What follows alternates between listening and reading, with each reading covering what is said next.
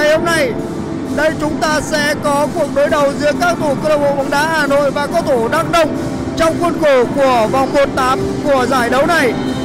Đây là trận đấu cuối cùng trong buổi chiều ngày hôm nay. Đường xuất phát của các thủ câu lạc bộ bóng đá Hà Nội hiện ra sân trong trận đấu này bao gồm Minh Quân, bao gồm Đình Phong, Trọng Đại, Hạo Nam, Hải Nam, huấn luyện viên trưởng đó là ông Nguyễn Công Chiến. Ngày thi đấu này thì các thủ Hà Nội sẽ thi đấu với trang phục áo vàng, quần vàng và tất vàng. Bên phía các thủ Đăng Đông họ sẽ thi đấu với Thiên Ân, Anh Vũ, Hoàng Long, Xuân Khanh, Minh Trí, huấn luyện trưởng đó là ông Vũ Thái Thuần.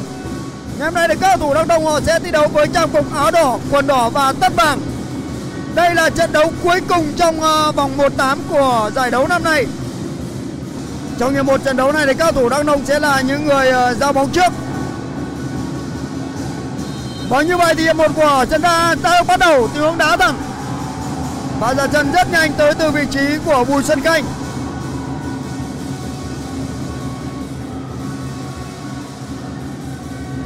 Đường chuyền lên, cơ hội dành cho các thủ của đội bóng đá đội. Dứt điểm từ xa, bóng vẫn còn trong cuộc. Và giả chân thì khá ra và đây là cơ hội. Quá người không được. Tình huống xử lý tới từ vị trí của số 9 đó là Trọng Đại.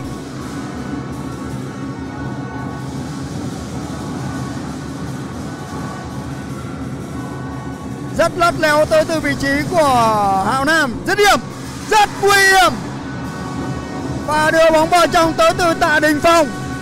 Bóng vừa liếm xà ngang và đi ra sau lưới.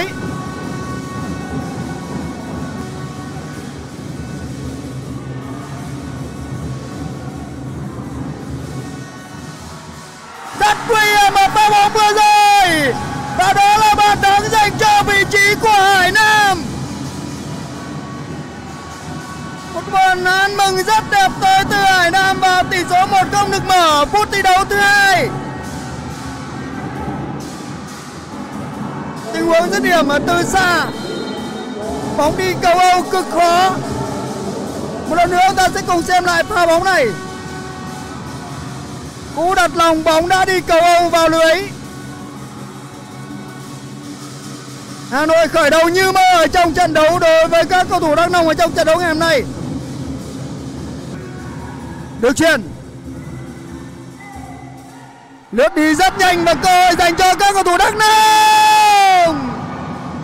Và ra chân bằng chân trái, chất lượng tới từ vị trí của Minh Trí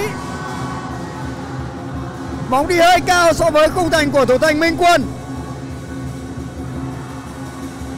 Quang ơi Dứt điểm, không được. Và xử lý rất gọn ghẽ tới từ ờ, Dương Trọng Đại ở trong khu vực vòng cấm. Trọng Đại mang về cho các thủ ờ, áo vàng một quả đá biên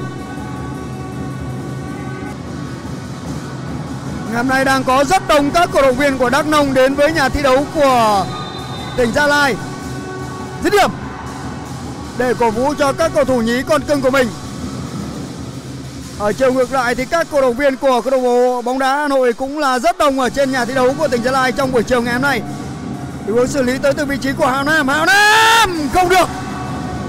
Và ra vào hợp lý tới từ ờ, thủ thành Thiên Ân. Tình huống xử lý rất nhanh tới từ Hào Nam ở phía ngoài vòng cấm. Pha xoay sở là rất tốt. Tình huống ờ, dứt điểm được đưa ra tuy nhiên thì thủ thành của cao thủ ờ, Đăng Đông đã có một pha bắt bài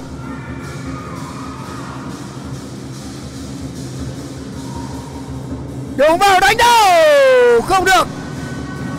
Và bằng cắt ở trong vòng cấm thuộc về Châu Đại. Lên bóng dành cho cao thủ Đăng Nông. Qua người. Rất bất cẩn, rất bất cẩn. Tình huống ra vào tốt tới từ thủ thành Nguyễn Văn Thiên Ân Ở trong những tình huống vừa qua. Đường truyền lên, đánh đầu Và đẩy bóng tới từ thủ thành Minh Quân.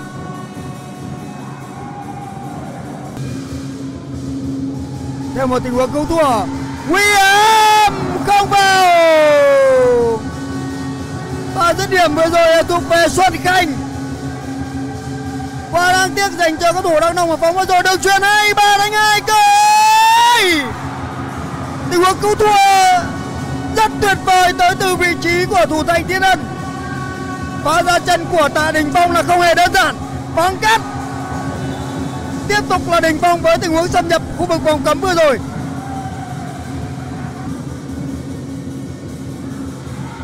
Tình huống đá thẳng. Và xử lý tới từ Bùi Xuân Khanh.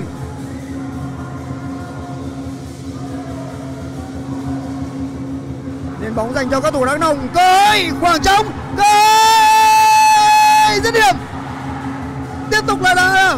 Không được. Mà đá bồi không thành công. Vừa rồi thì khoảng trống đã lộ ra, tuy nhiên thì à, không hiểu sao hai cầu thủ áo đỏ không đưa ra cú dứt điểm à, sớm hơn. Xuân Khanh sẽ là người thực hiện quả đá biên cho các cầu thủ ở Đắk Nông. Trong những phút vừa qua thì các cầu thủ Đắk Nông đang tăng tốc, xử lý rất kỹ thuật. Tuy nhiên thì à, chưa thể đưa ra cú dứt điểm cuối cùng. Không có đối với thủ thành Minh Quân. Xoay sở rất tốt. Đường truyền, hai đánh hai. Và người cây và ra chân cuối cùng thuộc về trọng đại và vẫn chưa có bàn thắng dành cho số 9 của các thủ Hà Nội trong trận đấu ngày hôm nay. Cú xử lý là rất căng. Tuy nhiên bóng lại đi hơi cao.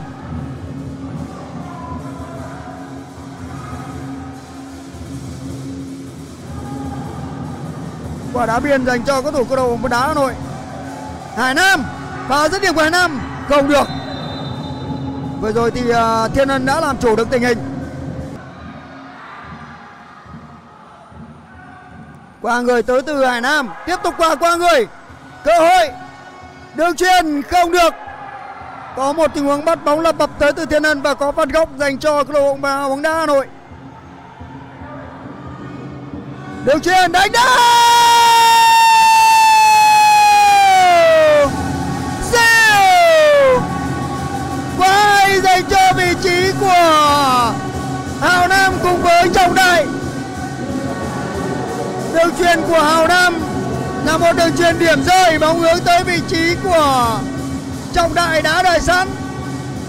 Và đánh đầu thành công và tỷ số được nâng lên 2-0 ở phút bù giờ đầu tiên cơ hội! Không được! Tình huống ờ, không chơi bóng và dứt điểm bằng chân trái tới từ hậu nam bóng đã đi chạy cột dọc. Một lần nữa, chúng ta sẽ cùng xem lại tình huống phạt góc dẫn tới bàn thắng. Được chuyển rất hay tới từ số 10 của cao thủ ờ, câu lạc bộ bóng đá Hà Nội dành cho vị trí của trọng đại. Dẫn gót! Và đánh gót kỹ thuật của trọng đại không thành công. Lần nữa, chúng ta sẽ cùng xem lại pha bóng này.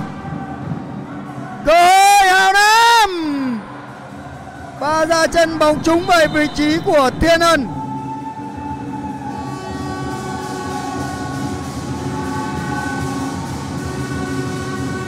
Uống chấp thời cơ rất nhanh của Hào Nam.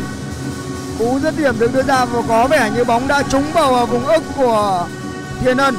Khiến cho cầu thủ này bị thốn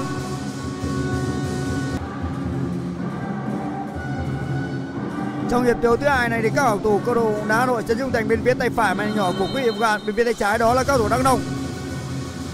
Lên bóng dành cho cầu thủ áo vàng đưa chuyền vào. Và chuyền ờ, chọc khe vào khu vực cống đã bị cắt, dứt điểm.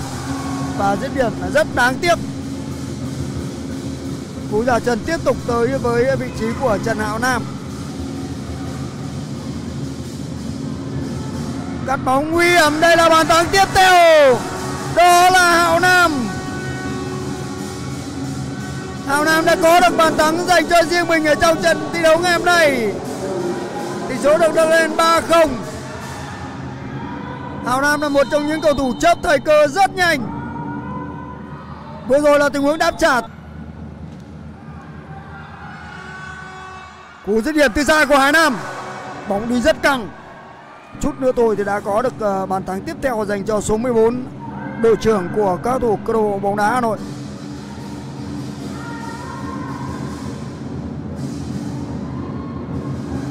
Cắt bóng tốt tới từ ờ, vị trí của anh Vũ. Dứt điểm. Anh Vũ vẫn đang thi đấu rất tích cực trong những phút thi đấu vừa qua. Bàn bật rất hay và khoảng trống được mở ra. Đây rồi! Cú dứt điểm chéo góc và bóng đi không trúng đích. Và ra chân tới từ Trịnh Vũ Phong. Bóng vẫn còn trong cuộc sau ờ, nỗ lực cứu bóng tới từ Hào Nam. và cắt bóng tới từ Hải Nam một tình huống đá bóng an toàn. Nguy hiểm cơ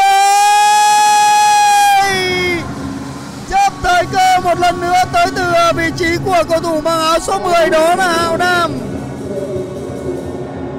Quá nhanh và quá nguy hiểm tới từ ờ, số 10 Trần Hào Nam ở những tình huống chấp thời cơ, như đã nói. Lần này cách biệt được gia tăng 4 bàn trước đó thì đó là đường truyền có quan sát tới từ ờ, vị trí của Hải Nam. Đó không hẳn là một tình huống phá bóng vu vơ tới từ ờ, đội trưởng cầu thủ áo số 14 bên phía cầu thủ câu lạc bộ bóng đá Hà Nội. Rất nhanh. Đưa bóng vào, cơ hội. Đó là bàn thắng tiếp theo và xử lý cực kỳ mẫu mực của các thủ câu lạc bộ bóng đá Hà Nội bên hành lang biên người vừa mang về bàn thắng đó là vị trí của Văn Giáp Tuy nhiên thì công đầu trước đó phải thuộc về màn trình diễn tới từ Hạo Nam ở bên hành lang bên phải. Hai cầu thủ nhỏ con của câu lạc bóng đá Nội mang về bàn thắng tiếp theo dành cho các cầu thủ áo vàng. Bàn, bàn thắng ờ, là rất đẹp mắt.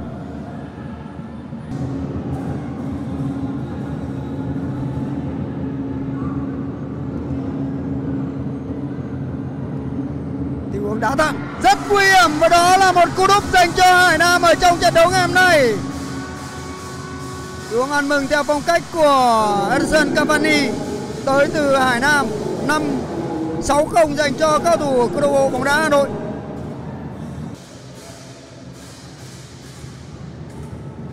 Thêm một tình huống dứt điểm nữa tới từ Hải Nam quá nguy hiểm. Những cú ra chân từ ờ, xa tới từ số 14 của cao thủ ờ, câu lạc bộ bóng đá đội. Tiềm ẩn rất nhiều những sự nguy hiểm. Vừa rồi thì ờ, Tiên Ân đã chơi tốt với một tình huống đổ người đẩy bóng. Đưa bóng vào! Và pha đá phạt theo bài rất hay, tuy nhiên thì không có bàn thắng. Rồi vẫn còn! Đó là bàn thắng tiếp theo! Người mang về bàn thắng dành cho cao thủ của câu lạc bộ bóng đá đội đó là Quang Dũng.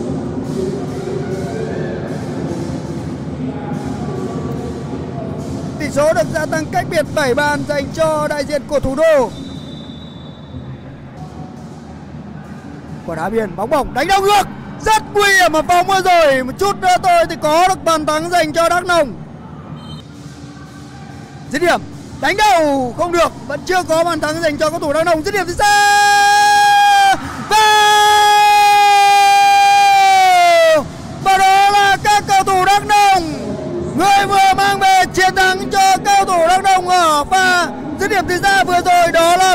của Minh Trí thì nhớ được rút ngắn xuống còn 1-7 dành cho các cầu thủ Đắk Nông.